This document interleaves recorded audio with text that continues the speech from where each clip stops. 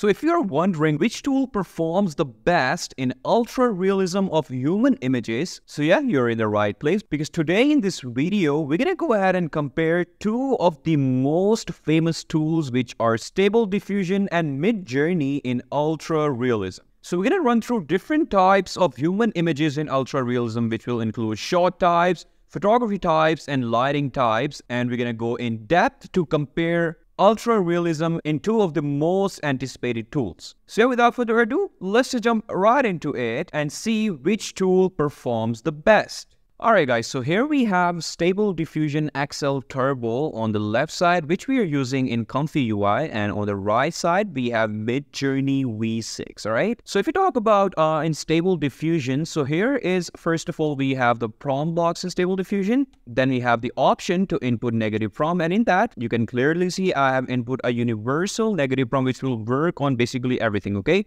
And then we have few parameters of width, height, and batch size, which I have selected as 4, then we have few more parameters also which contain seed, steps, CFG. So I've taken CFG value as 2 because in human portraits, we're going to vary that differently uh, depending upon the shot types, like how much uh, close you want your images to be. So we're going to vary from 2 to 3 for our CFG value, okay? So yeah, and then uh, if you talk about uh, Midjourney, so it's a very intuitive interface. So it just offers you uh, the prompt box where you type imagine and type in your prompt right away, okay? So yeah, now let's start uh, the comparison. So we're gonna go ahead and compare ultra realism of humans uh, in different scenarios. So we're gonna talk about shot types, photography types, and lighting types. Okay, so first of all, let's just go ahead and discuss shot types and that we have three different categories of close-up shot, half body shot and full body shot okay so before that if you're wondering like what would be uh, the prompt formula for both of the ai tools obviously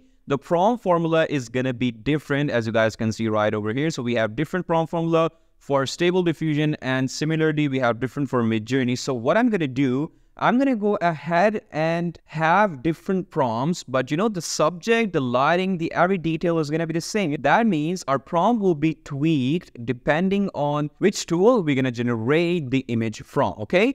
So yeah, if you are wondering how do you do that, it's very easy. You, you can simply do that uh, with the help of Chat, GPT, and Copilot right over here, as you guys can see. So you can use a little bit of, your prompting skills, and the Copilot is going to generate uh, the prompts for you for different tools, but with the same subject and same everything, okay? So yeah, first of all, we're going to go ahead and do the close-up shot. And for that, I'm going to go ahead and type in a prompt, a close-up shot of a man's face and uh, so we're gonna go ahead and put our prompt for both of the AI tools. So you guys can see both of our tools are generating the results for us. So if we compare uh, both of the close-up shots uh, of um, Stable Diffusion and Midjourney. So on left, we have Stable Diffusion. So check out the detail in that, you know. This looks really, really fantastic. Like everything is top-notch to the point. Similarly, if you take a look at the Midjourney, so, you know, Midjourney provided a bit of different lighting because as that was in the prompt. But other than that, uh, both of the tools provide absolutely fantastic results for our close-up shot of a man's face. Okay, so yeah, this is really, really good. I really like the detail in Stable Diffusion. Like, check out little lining, like little face detail under the man's eye.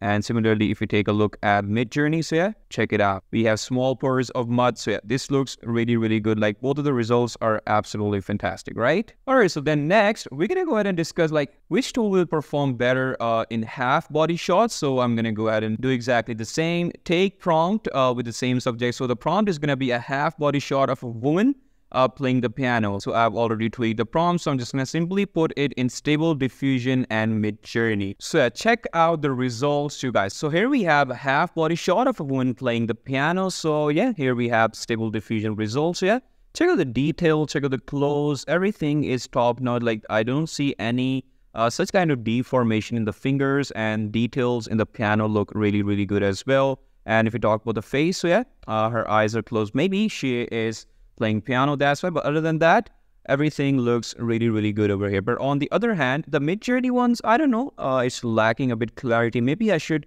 need to upscale this image. I don't know. But other than that, the lighting, you know, you can see the background, the focus, the portrait effect is too good. And similarly in Stable Diffusion, yeah, this looks really good. But if I have to call a winner, I would say Stable Diffusion did a really good job in the half body shot, okay? All right, so next, uh, we're gonna go ahead and compare a full body shot now for our shot types. And uh, for that, I've selected a full body shot uh, of a man dancing in the street. Okay, so let's just see how it turns out. All right, so here you go, guys. So we have a full body uh, shot of different AI tools, Stable Diffusion and Midjourney is the left. Yeah, uh, this looks really, really good. Like, uh, it's lagging a bit clarity. I don't know, maybe I messed up with the CFG value, but other than that, the detail, the background, the bokeh effect, you can see the fingers. Yeah, it's doing a pretty handsome job for Stable Diffusion. And similarly, if you see Midjourney, so yeah, this is absolutely fantastic. Like, check out the reflection in the water down there is doing a fantastic job, right? But uh, if I talk about clarity in that, it's a bit missing, but uh, you know, the bokeh effect, the neon effect in the picture looks absolutely fantastic. So does the stable diffusion. This looks really, really good. So if I have to call a winner, I think both tools uh, did pretty good job, okay? All right, so next, uh, we're going to go ahead and jump to photography types in ultra realism, and we're going to talk about studio photography, portrait photography and fashion photography, all right? So uh, first of all, I'm going to go ahead and compare studio photography. So I've chosen a studio shot of a model posing with a vintage motorcycle, okay? So I'm going to type my prompts in both of these AI tools and let's just check out the result. All right, guys, so here we go. Uh, so we have Stable Diffusion and Midjourney output. So take a look at the result of Stable Diffusion. Like it actually looks like a studio photograph. Like check out the lighting, everything. We talked in a prompt like we have to take a bit of a vintage look in that, but you know, as it was of studio photography. So yeah, Stable Diffusion did absolutely fantastic job, no doubt in that. But on the other hand, if you talk about Midjourney 1, so it kind of, uh, you know, like pushed a lot more uh, to the vintage side. And I'm not sure if that's looking Studio One. Maybe uh, that could be some kind of a lighting in Studio. But yeah, the results, the clarity looks really, really good that we have a vintage look in that. We have a kind of a studio shot in that as well. But if I have to call a winner, Stable Diffusion absolutely nailed uh, the studio photography, right? Okay, next on the photography type, we're going to talk about portrait photography. So I've chosen a portrait of a chef uh, in the kitchen so I'm going to type both of my prompts in both of these AI tools and let's check out the results. All right, so take a look at the results, you guys. So on left, we have stable uh, diffusion output and yeah, this looks really, really good. Like it's looking like a portrait photography. We, we have a very little bokeh effect in the background, which looks really, really good. So yeah, every detail on the shirt, on the apron looks absolutely fantastic. And yeah, the result is really, really good. And if we talk about Midjourney once, yeah, this is absolutely fantastic. Like check out the detail.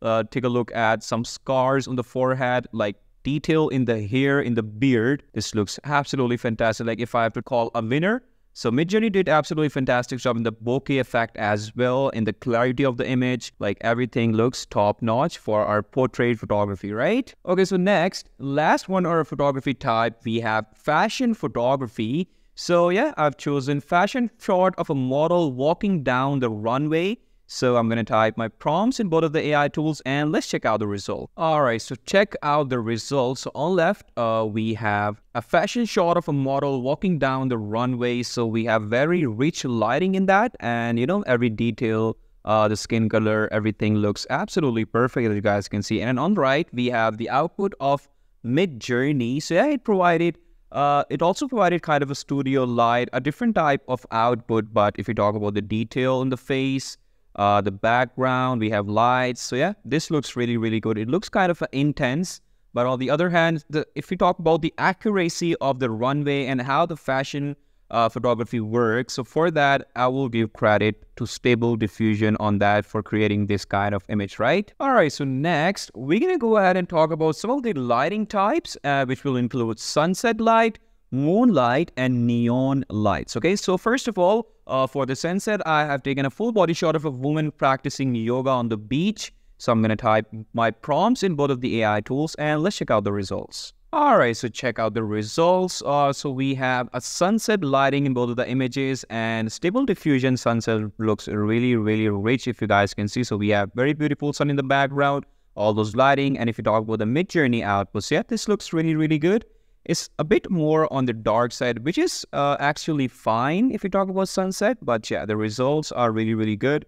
Uh, especially, I really like the stable diffusion image. Midjourney, it also looks absolutely fantastic. Like we can see the sand, the water, the reflection, the people in the background. So yeah, this look really, really good, right?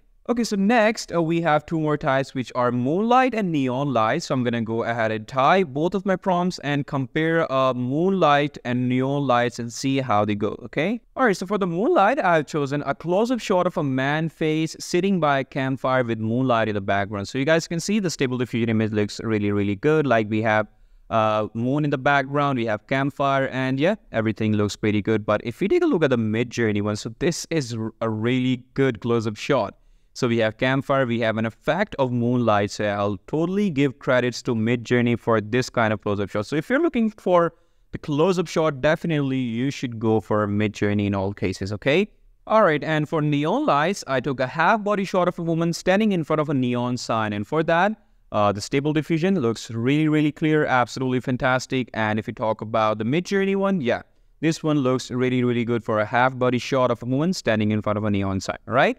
So yeah, there you have it, guys. This was uh, the exploration of comparing ultra realism between two of the most famous tools, Stable Diffusion and Midjourney, right? So yeah, I really hope you like this video and I'll see you in the next one. Until then, take care. Bye-bye.